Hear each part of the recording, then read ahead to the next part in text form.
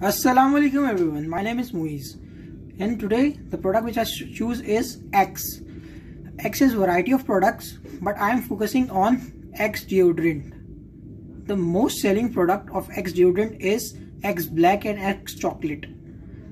The price has major effect on the market branding. So Axe uh, set his price very competitive between 300 to 450 you can find Axe in over 90 countries around the world.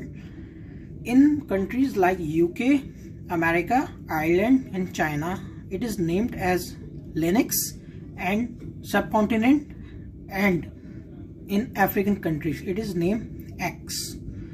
Axe has been promoting its brand quite effectively. It is targeting the youth generation who likes to look very glamorous every day. So their ads are bit steamy and sensuous. Now my friend will take on from here. Hello everyone, myself Ehrar and uh, what value it offer to its customers. When Axe launch, Axe create new product category. Uh, the category the category include deodorants, body spray for men's, over and above all classic deodorants, promotions for odor preventions, as also offer fragrance, which allow it to be positioned as a seduction tool, easing the transition from odorless to manhood. So what are the other competing products? If we talk talk about the competing products, number one is Nivea and the second one is Old Spice. What are the unique selling positions of the products?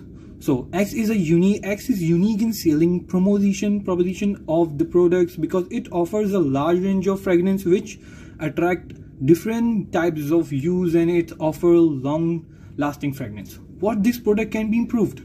Axe can be a much better brand by, by entering in perfume market. They are just working on brands on deodorants of uh, daily use. They can target elite class peoples like those type use uh, expensive and branded perfumes for example Dunhills, uh, Mont Blanc, Ferrari and etc. Thank you. Thank you so much.